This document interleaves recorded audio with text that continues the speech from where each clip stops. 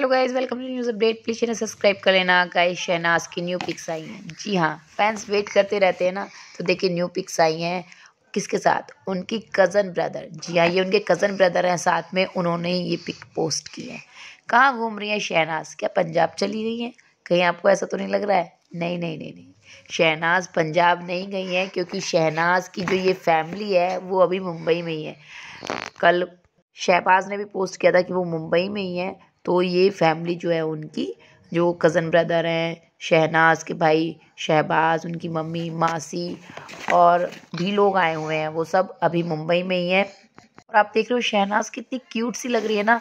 देखिए, इन पिक्स में शहनाज ना बिल्कुल पुराने वाली शहनाज लग रही है, वो बबली सी और देखिए काफ़ी रिफ़्रेशिंग लग रही हैं। फैमिली के साथ टाइम स्पेंड कर रहे हैं भाई।